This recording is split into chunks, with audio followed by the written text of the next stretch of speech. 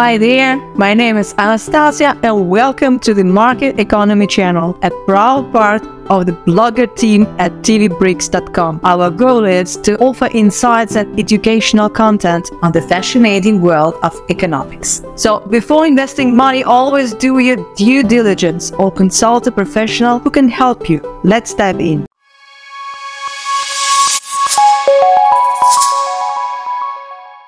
Today we are diving into the world of BRICS and how you can already invest in these emerging markets through exchange traded funds or ETFs and how they can provide you with an affordable and efficient way to invest in the emerging economies of the whole BRICS countries. We'll also discuss the history and potential of these economies as well as the advantages and challenges of investing in them. So keep watching and let's explore the potential of Brazil, Russia, India, China and South Africa together. The term BRICS refers to the nations of Brazil, Russia, India, China, and South Africa. British economist Jim O'Neill coined the term BRIC in 2012 to describe these countries as economies poised for rapid growth that has recently surpassed the economic power of the G7 countries, nearly 30 years ahead of experts' predictions. South Africa officially joined the BRIC group of nations in December 2010, and the acronym changed from BRIC to BRICS to include South Africa in the name. In the early 2000s, the BRIC economies experienced significant growth, which captured the attention of investors worldwide. However, over the years, the BRICS hypothesis has faced some opposition. Critics argue that the grouping overlooks the finite nature of crucial resources and that China's GDP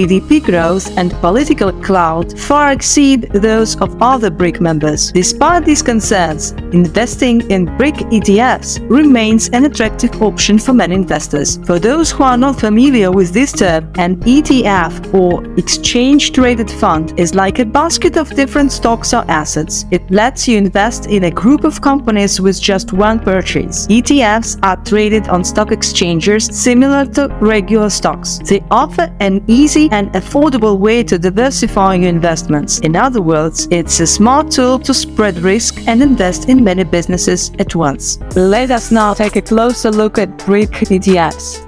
These funds focus on investment opportunities in Brazil, Russia, India, and China, excluding South Africa for now by investing in stocks and other securities through local exchanges or American and global depository receipts. ETFs offer a unique combination of the flexibility of stocks and the, diversification strengths of mutual funds. They trade on exchanges and usually track a specific index. By purchasing an ETF bundle, you can reduce risk and increase portfolio diversification, as these assets can be bought and sold during market hours. When investing in BRIC ETFs, it's important to be aware of various costs associated with them. These costs may include fees charged by your brokerage company for each trade, management fees charged by the ETF's sponsor, and trading costs such as bid-ask spreads and changes in discounts and premiums uh, to an ETF's net asset value. Despite the potential costs,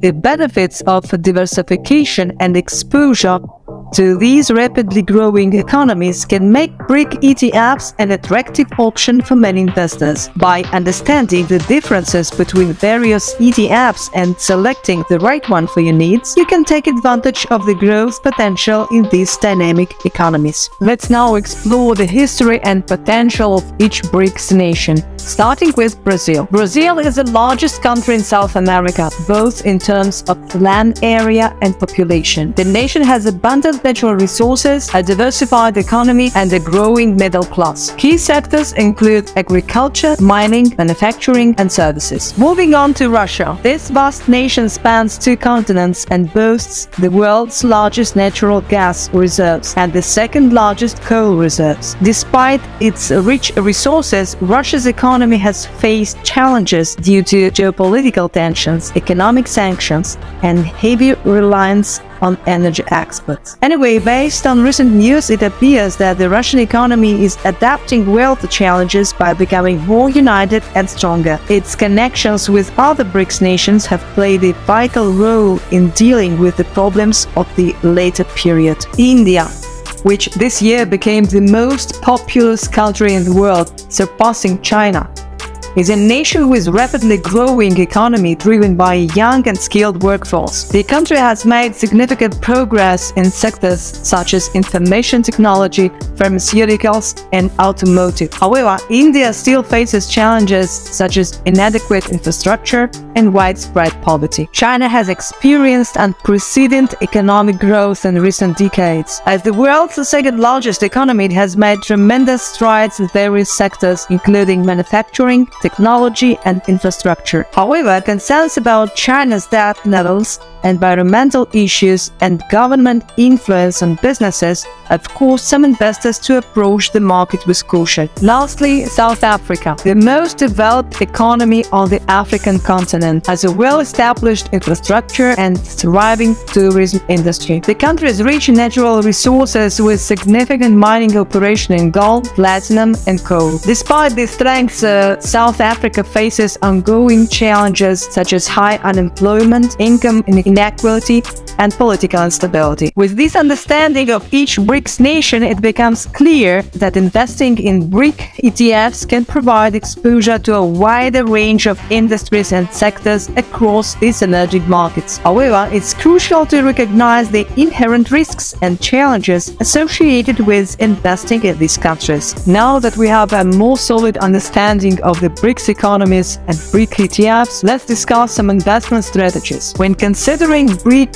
ETFs, it's essential to take into account factors such as expense ratios, liquidity, and the specific index that the ETF tracks. Additionally, investors should consider the allocation of assets among these countries, as these can differ between funds. Diversification is a key component of successful investing, and BRIC ETFs can play a role in a well-rounded portfolio. However, it's important to strike the right balance between developed and emerging markets as well as between various asset classes. This balance will vary depending on an investor's individual risk tolerance and financial goals. It is also worth uh, considering the role of environmental, social, and governance factors with selecting BRICS ETFs. Some funds focus on companies with strong ESG performance, which may be an important consideration for investors concerned about sustainability and corporate responsibility. If you want to know more about ESG, you can watch our previous video,